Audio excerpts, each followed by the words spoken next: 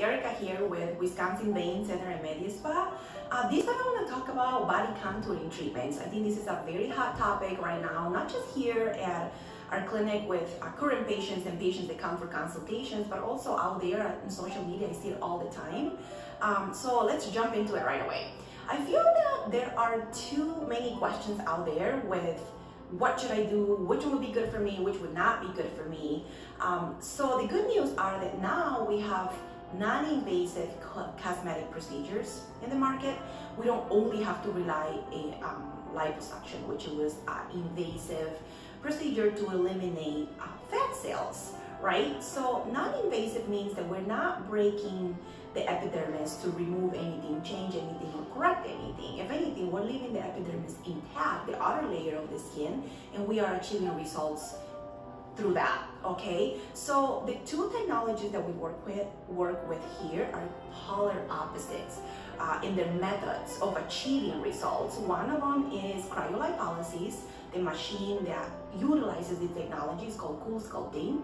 Cryolipolysis freezes, freezes fat cells and after three months is when you'll see the best results. We, we eliminate those fat cells through our lymphatic system, uh, meaning through waste.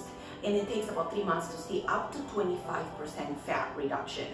Uh, CoolSculpting has been on the market for a long time and there has been many, many studies supporting its safety and efficacy and it's actually uh, approved by the Food and Drug Administration. So that is also, um, in my opinion, gives me a peace of mind too.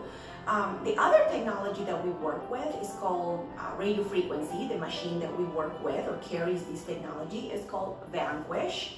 Um, and Vanquish uses radio frequency um, to bypass the epidermis and getting a little bit deeper into subcutaneous fat. When we say subcutaneous fat, I always think of my husband for some reason because think of the patient that has um, like a beer belly or patients that have been trying to lose weight and that fat has become pretty hard. That's when we're working with more of like a visceral fat or fat that's been deeper into the tissue.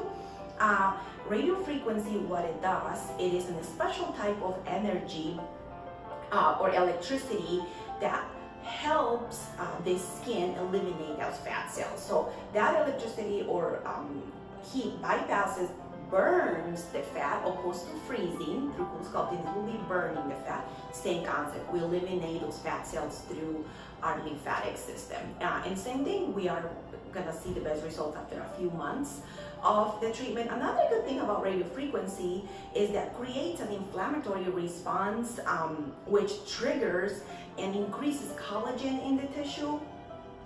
So the, the, the skin after, when we see all the results, it appears a little bit tighter to the naked eye. So that's kind of the difference between one and the other. And honestly, the best way to say, say, oh, I think I'm a best candidate for this or this is think of your pinchable fat that's CoolSculpting.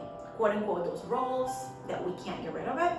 And anything that's more deeper, harder, that's radio frequency or vanquish. All right, I hope that helped.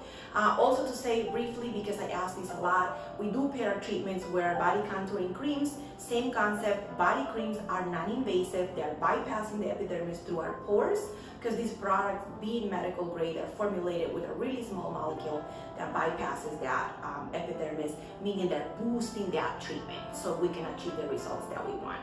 I hope that was helpful and if you have any questions, feel free to ask down below. Give us your thumbs up and I'll see you guys in a month.